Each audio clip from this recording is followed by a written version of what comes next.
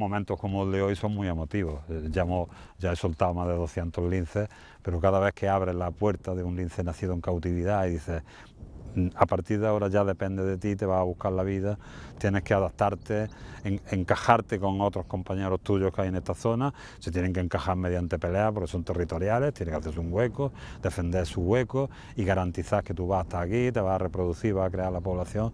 Es un momento siempre muy emotivo, ¿no? porque es muy importante dentro del proyecto.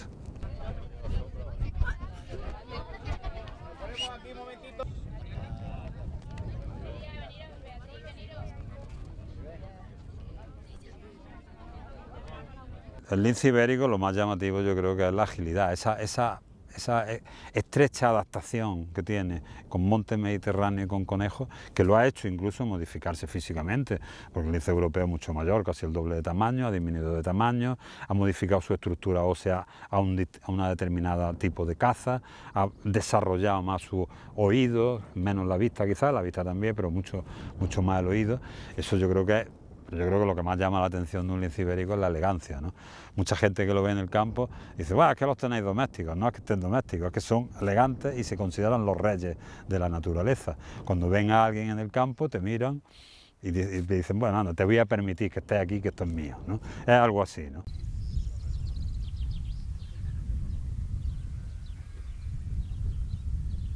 Cuando empezamos en, el año 2000, 2002, 2003, la situación era tan crítica que dijimos, bueno, vamos a capturar algunos ejemplares del campo para mantenerlos en cautividad como una reserva.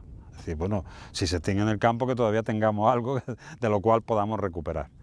Los números fueron bien, también que dijimos, no, vamos a cambiar ahora el objetivo de estos linces en cautividad, hacer un programa de cría que produzca cachorros para hacer reintroducciones. Se cambió un poco los objetivos.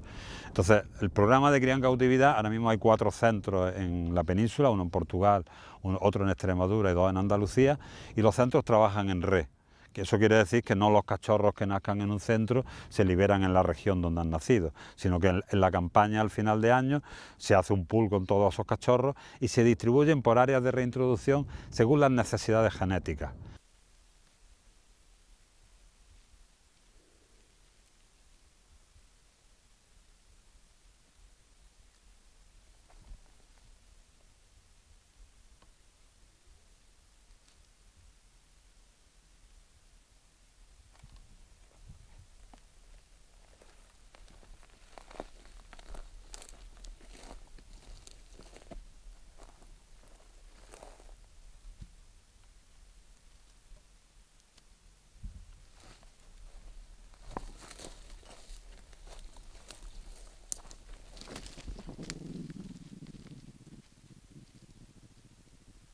Hemos preparado los conejos vivos, nos lo, hemos traído para la zona de campeo, que es donde están los linces, y, nada, para nosotros los cuidadores nuestro trabajo es darle el alimento, que, normalmente en un centro de cría en cautividad es presa viva, es conejo vivo, para que ellos no pierdan su instinto y, y le damos un conejo vivo por lince y día.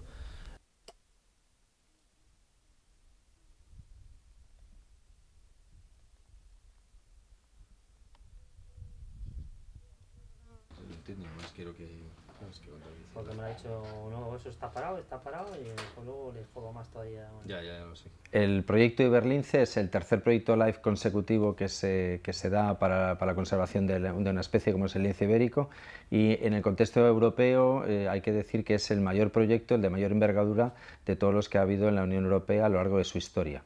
Estamos hablando, por lo tanto, de un proyecto de, grandísimo impacto y donde, donde no hay ninguna comparación posible con ninguno de los que se ha desarrollado hasta ahora.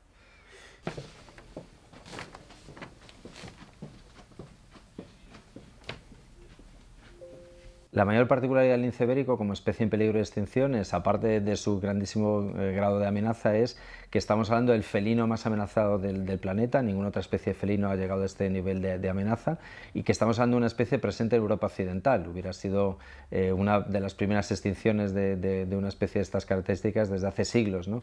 y eso lo que ha hecho es que hayan saltado todas las alarmas de las instituciones europeas y también, lógicamente, nacionales. Estamos hablando de una pieza única y que solo aparece en la península ibérica.